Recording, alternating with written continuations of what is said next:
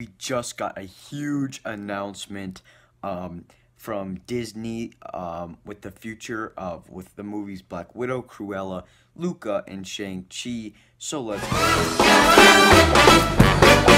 Please do hit the subscribe button down below. Help this channel grow. I'm not in my normal spot right now, um, but this was a big announcement, so I had to make a video.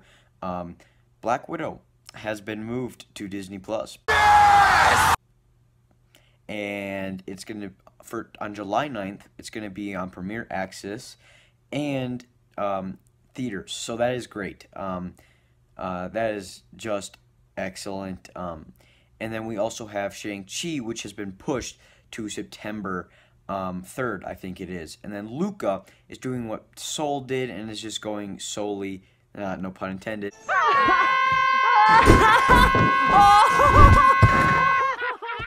to Disney Plus.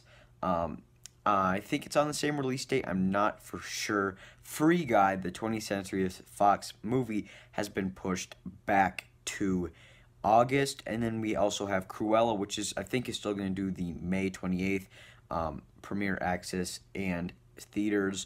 Um, this is great. This is just great all around news. Um, I don't know. This was just this was awesome. So. Um, tell me down below in the comments which movie are you most excited to see. I think I will see Black Widow still in theaters. Um, but thank you for watching. May the force be with you.